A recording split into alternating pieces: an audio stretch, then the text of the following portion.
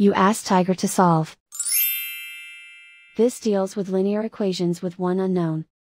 The final result is x equals negative 7. Let's solve it step by step.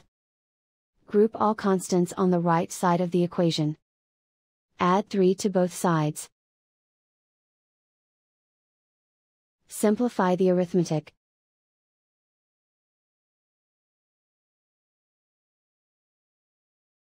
Isolate the x. Divide both sides by negative 9. Cancel out the negatives.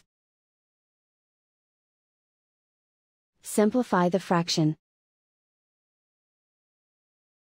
Move the negative sign from the denominator to the numerator. Find the greatest common factor of the numerator and denominator. Factor out and cancel the greatest common factor. And so the final result is x equals negative 7.